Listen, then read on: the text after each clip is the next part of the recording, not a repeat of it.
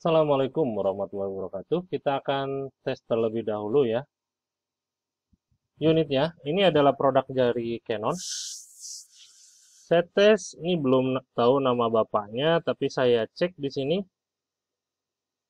Untuk nama bapaknya teknisi oksigen. Baik, saya tes, akan tes saja di sini atas nama bapak teknisi oksigen. Ini unitnya Canon Light 110 ya. Saya udah pilihin yang bodinya nggak mulus produknya dari Canon. Serinya Canon Light 110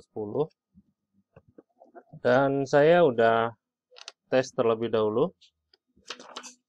Ini dokumen yang mau saya scan ya dokumen A4 saya taruh di sini. Ini ada tanda panah di sudut kiri bagian bawah kalau posisinya seperti ini ya. Di sini juga ada shortcut PDF auto scan copy dan email ya. Nanti anda bisa explore. Kita tutup aja untuk covernya. Kita masuk di aplikasi ya karena unit ini memang harus pakai PC atau laptop gitu. Karena simpelnya unit ini tipis banget hampir sama ukurannya sama laptop. Hampir setebal laptop lah ya kurang lebih dan nggak perlu pakai adaptor, simple banget. Jadi bisa dibawa ke mana-mana tanpa cari colokan listrik gitu. Mau dipakai siapa aja, asal drivernya sudah terinstall, bisa dipakai ya, atau support. Oke, kita masuk di aplikasinya, Canon MPEG Navigator di sini. Nanti saya kasih drivernya berbentuk CD, ya, dalam kemasan packingnya ya. Eh orangnya juga mau COD gitu. Jadi nggak usah dikirim pakai packing resmi karena mau dibawa langsung mau dipakai langsung. Oke. Ini saya udah klik di sini Canon Light 110 Anda bisa cek juga di sini. Sudah apa namanya sudah terinstall dan sudah masuk ya di sini. Canon Light 110 ya. Kalau sudah kita save di sini. Kita save dan tampilannya akan seperti ini. Kalau dari awal nah seperti ini ya. Ini kalau kolom ini saya lepas centangnya akan settingan default masuk ya. Dokumen di sini color.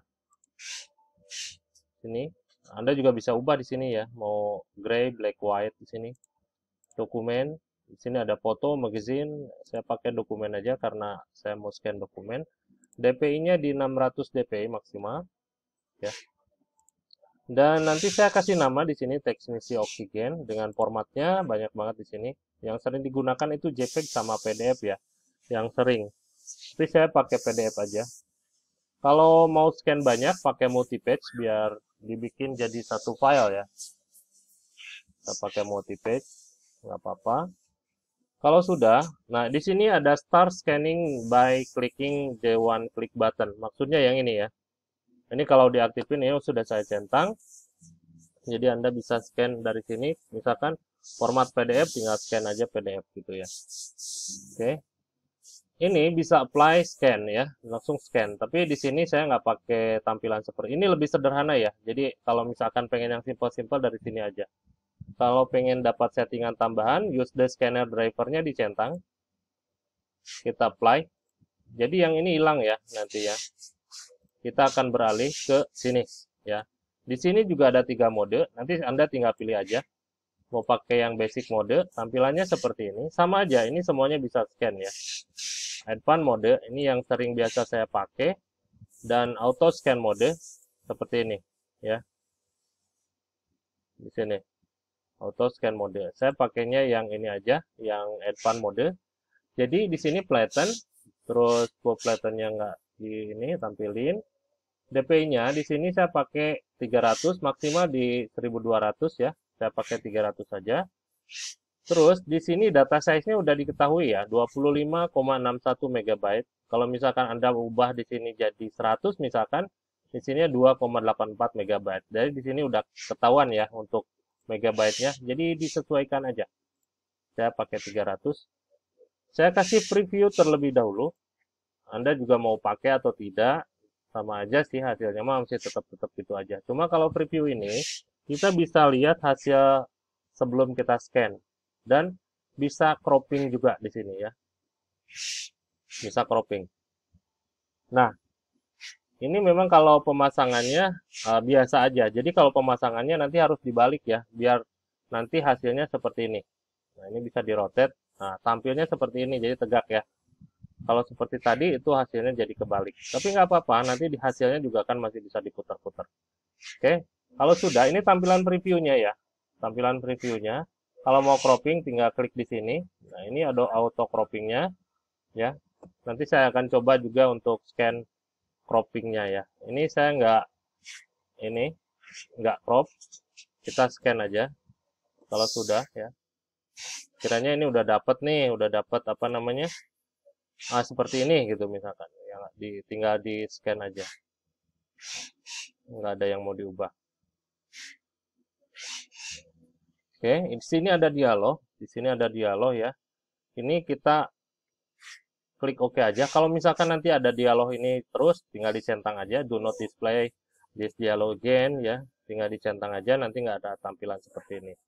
Kita klik OK uh, to continue scanning load dokumen. Nah, kalau misalkan Anda mau tambah lagi dokumennya, kita masuk lagi, baru kita scan. Nah, di sini, ini kan yang tadi nih. Kita coba cropping, kita coba rotate, ya kan. Saya mau ambil gambar di bagian sini aja.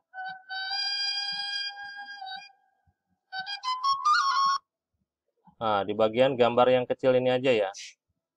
Ini saya sebagai contohin aja ya. Anda juga bisa scan foto di sini. Nah, jadi saya akan scan di bagian ininya aja ya. Kalau sudah, saya klik scan aja. Dan tunggu sampai proses scanningnya selesai. Di sini ada lagi dialog karena saya nggak centang tadi do not display this dialog again. Kita klik OK.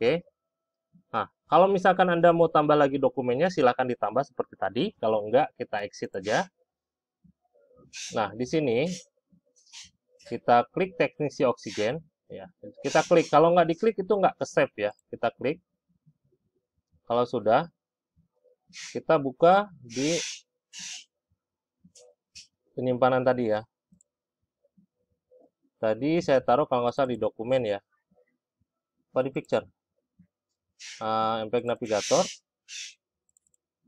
Nah, teknisi oksigen adanya di picture. Kita buka. Ini yang tadi ya. Dan ini ada yang kecilnya. Yang tadi saya cropping ya. Jadi ada dua file ya. Ada dua file. Ini yang pertama. Coba saya rotate. Nah, seperti ini. Ini yang pertama. Ini memang kotor ya. Dokumennya memang kotor.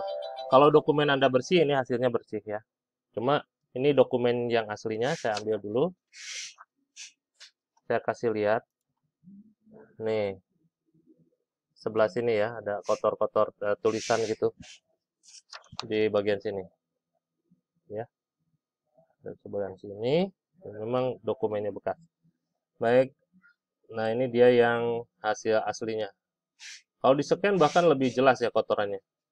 Ini yang barusan yang kedua ya, karena saya ambil satu kecil mungkin sama dia dianggapnya ini satu ya. Gitu. Ini saya ambil gambar yang ini. Yang sebelah sini ya. Saya cropping. Jadi ukurannya kecil dia. Nah, yang ini. Oke.